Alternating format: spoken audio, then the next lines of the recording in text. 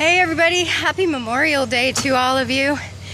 I'm up here on the gorgeous campus of Lindenwood University where we just finished our run um, for Memorial Day. And we ran a 5k distance today.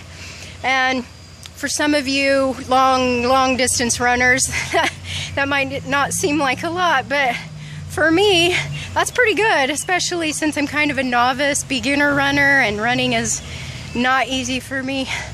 Um, and especially the run we did today wasn't on like flat ground or anything. We were running through neighborhoods and up and down hills and on the road and on the sidewalks and they were tilted and slanted and so your legs and your lower body's getting getting work from all angles.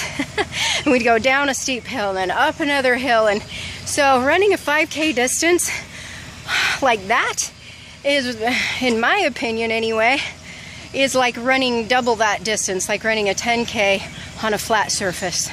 It was tough, but a great run. I feel awesome.